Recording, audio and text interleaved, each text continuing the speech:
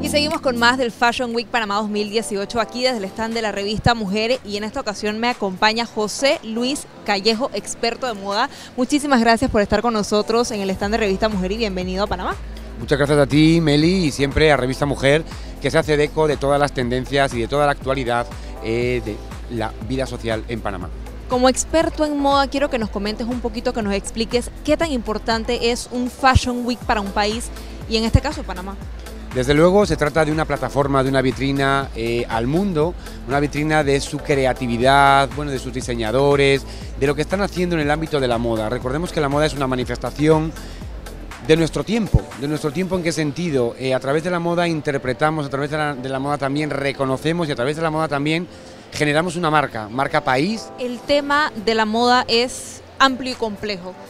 Eh, es importante tener las personas correctas en esta industria para que veamos un avance. Desde luego, desde luego. Y esas personas son los líderes de opinión. Vosotros como tal sois líderes de opinión. Hay una jerga, una terminología, un vocabulario. Es decir, hay que saber construir las frases para comunicar. Decir un material, un tejido, una línea. Y a veces nos encontramos con que efectivamente no se conoce. Pues vamos entre todos a generar una alianza, vosotros llamáis una mancuerna, que me parece muy divertida la palabra, no todo el mundo puede dedicarse a trabajar en la hostelería, que es fantástico. Hay que generar también nuevas expectativas de trabajo y nuevos nichos de empleabilidad. Entonces, a través de la moda se puede conseguir.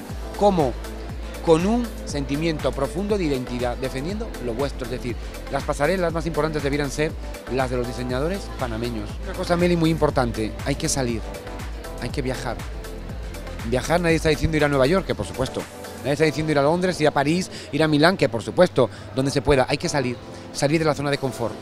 Todos debiéramos salir de la zona de confort, es muy importante porque eso nos va a oxigenar.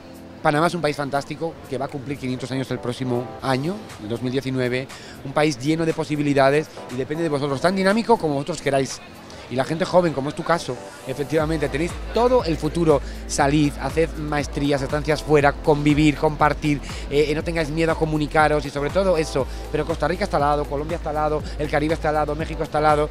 Es decir, que la clave es esa. Yo os quiero felicitar y animaros a que sigáis celebrando ese tipo de cosas y será un placer para mí compartirlas con vosotros. Muchísimas gracias, José. Vamos a disfrutar de lo que queda entonces del Fashion Week Panamá 2018 y no dudamos de que la industria de la moda va a crecer y va a avanzar muchísimo en nuestro Así será porque estáis convencidos y vais a apostar por ello.